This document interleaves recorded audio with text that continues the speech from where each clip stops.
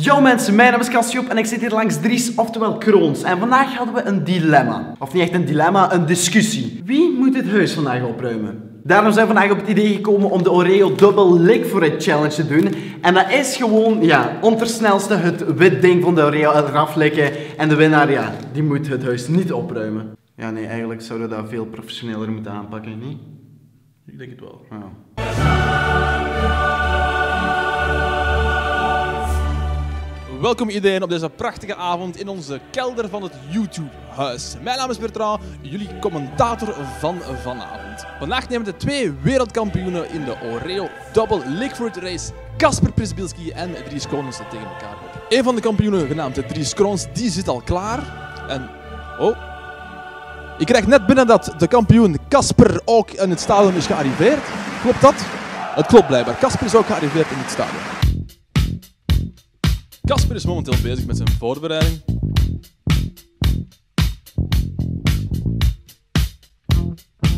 Geen idee wat de bedoeling is van deze voorbereiding. Het zal best wel helpen, zeker. Ook even toevoegen iets heel belangrijk: dat de verliezer het huis zal moeten opkuisen. Zo, dames en heren, hier hebben we twee kampioenen bij mij: Kasper Prisbilski. Rechts van mij en links van mij Dries Kroos. Zijn jullie klaar? Hebben jullie nog iets te zeggen voor we aan deze wedstrijd beginnen? Ja, maar ik een koekje, anders kan ik niet veel doen, hè. Kasper, is die tong van jou klaar? Ik heb eerlijk gezegd mijn tong gisteren verbrand aan het soep.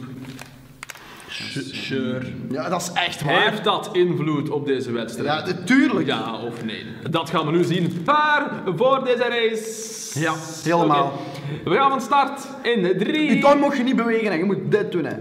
Ja, dat is waar. Oké? Oké. Oké. 3, 2, Oké, wacht even, nu ik naar mijn neus wachten.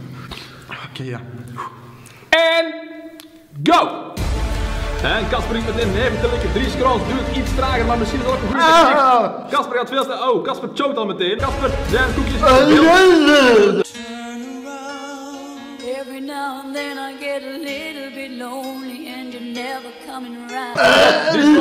Is choken. Dries Kroons, de, de eetman. De man die alles eet en alles fret. En hij is toch aan het choken. Kasper is blijkbaar toch echt wel beter met zijn tong. Hij blijft echt gaan. Hij blijft echt gaan. Kasper blijft gewoon gaan. Jawel. Jawel. Nog even. Nog even. Nog even. Nog even. Kasper een groot voorsprong. Oh, heel proper ook trouwens. Kasper, je bent echt een proper likker. Hoppa! Oh, het is weer Get down! Get down, Kasper. Kasper, de kampioen, heeft zijn titel verdedigd. Kan Dames en heren, hier bij mij in de studio. Kasper Prisbilski, de kampioen, nu alweer gewonnen. Kasper, wat vond je deze avond van je prestatie, man? Eh, ja, mijn, eh, mijn prestatie was zeer goed. Eh dat kun je nu eenmaal zien wie er voorbereiding neemt voor zijn wedstrijd en wie niet. En eh, dat beloont natuurlijk. Ik had eerlijk gezegd iets meer van de competitie verwacht. De tegenstander was deze keer niet zo goed. Ik heb nog expres mijn tong dit weekend bespaard voor deze wedstrijd. Maar ja, zelfs dat was eigenlijk niet nodig. Er zijn geruchten dat jij van alles goed kan met je tong. Wat zijn die geruchten eigenlijk? Want ik durf het zelf niet op camera te zeggen. Waarom ben je zo goed met je tong eigenlijk?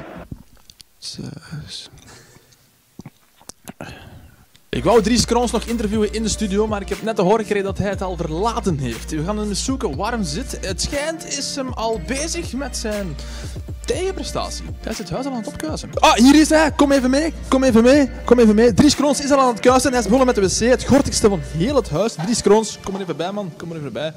Je bent tweede geëindigd. Niet eerste. Wat vind je daarvan? Ehm, een tweede plaats is helemaal niet slecht. Ik denk wel dat ik mijn best heb gedaan. Mijn koekje was iets harder, maar eh, ik ben wel content met de tweede plaats. Ja. Tweede plaats, maar daar deed maar twee man mee in heel het kampioenschap.